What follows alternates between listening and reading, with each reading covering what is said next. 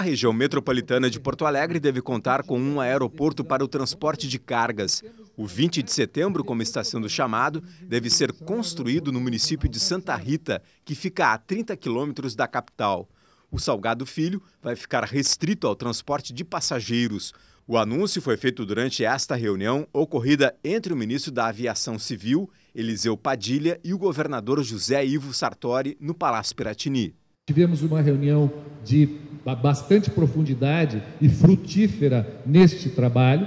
Ele logo determinou a constituição de um grupo que vai dialogar conosco e rapidamente nós vamos levar a presidente qual é a melhor alternativa para o Rio Grande do Sul. Nós expusemos a ideia, vamos ouvir o governo do Estado, elaborar o que seja a melhor proposta, mas a decisão será da presidenta. O Estado também vai contar com investimentos do governo federal para ampliar sete aeroportos regionais e construir outros oito, incluindo o de Vila Oliva, em Caxias do Sul. O governador garantiu apoio ao empreendimento.